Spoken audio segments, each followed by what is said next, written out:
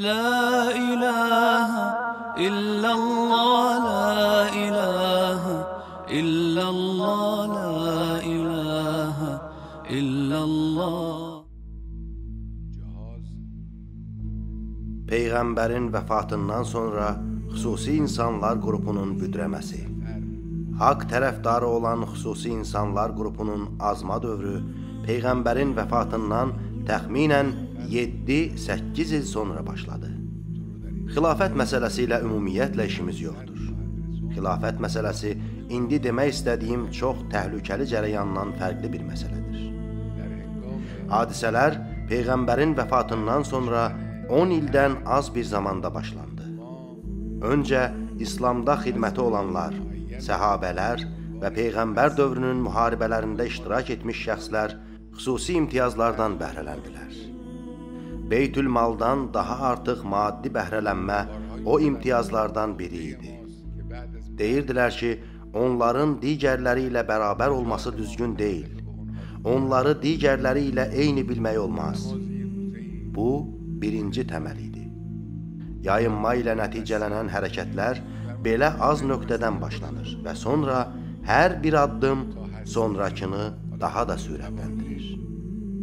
Yayınmalar bu nöqtədən başladı. Nəhayət, Osmanın dövrünün ortalarına qədər çatdı. Üçüncü xəlifənin dövründə vəziyyət elə oldu ki, Peyğəmbərin böyük səhabələri öz dövrlərinin ən böyük sərmayədarlarından sayıldılar. Diqqət yetirirsiniz. Yəni adları məşhur olan bu uca məqamlı səhabələrin, Təlhənin, Zübeyrin, Səd İbni Əbu Vəqqasın və digərlərinin hər birinin Bədirdə, Hüneyndə və Ühüddə qalın bir kitablıq iftixarlı keçmişi vardı. Onlar İslamın sərmayədarlarının birinci sırasında yer aldılar. Onların biri öldükdə ondan qalmış qızılları varisləri arasında bölmək istəyəndə əvvəlcə qızıl külçə formasına saldılar və sonra balta ilə qırıb bölməyə başladılar. Balta ilə kiçik parçalara bölünən odun kimi. Qızılı adətən miskalla ölçürlər. Görün nə qədər olub ki, onu balta ilə qırırmışlar. Bunlar tarixdə qeyd olunmuşdur. Elə məsələlər deyil ki, şiyələrin öz kitablarında yazdıqlarını deyək. Bunlar hamının yazmağa və qeyd etməyə çalışdığı həqiqətlərdir. Onlardan qalan dirhəm və dinarların miqdarı fantastik idi. Əmir əl-Mömininin hökuməti dövründə xüsusi insanlar qrupunun rolu. Həmin vəziyyət Əmir əl-Mömininin dövründəki məsələləri vücuda gətirdi. Yəni o, Həzrətin dövründə bəziləri üçün vəzifə önəm kəsb etdiyindən əli ilə vuruşdular. Peyğəmbərin vəfatından ötən 25 ildə çoxlu səhvlərə yol verilmişdi. Əmir əl-Mömininin nəfəsi Peyğəmbərin nəfəsi idi. Əgər 25 il fasilə yaranmasaydı, Əmir əl-Möminin o cəmiyyəti qurmaq üçün problemlə üzləşməzdi. Lakin onun rastlaşdığı cəmiyyət dəyərlərin dünyagirlik şüası altında itdiyi bir cəmiyyət idi.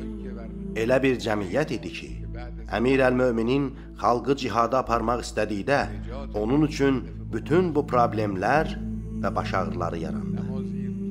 Onun dövrünün haqq tərəfdarları olan, yəni haqqı tanıyan xüsusi insanların əksəriyyəti dünyanı axirətdən üstün tutan şəxslər idilər. Nəticədə Əmir əl-Möminin məcburi şəkildə üç müharibəyə qoşuldu.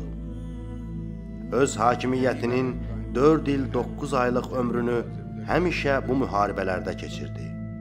Və nəhayət həmin xəbis adamların biri tərəfindən şəhadətə çatdı. Əmir əl-Mömininin qanı İmam Hüseynin qanı qədər dəyərlidir. Siz varis ziyarətnaməsində belə oxuyursunuz. Salam olsun sənə, ey Allahın qanı və Allah qanının oğlu. Yəni Allah Taala İmam Hüseynin və onun atası Əmir əl-Mömininin qanının sahibidir. Bu təbir başqa heç kəs üçün işlədilməmişdir.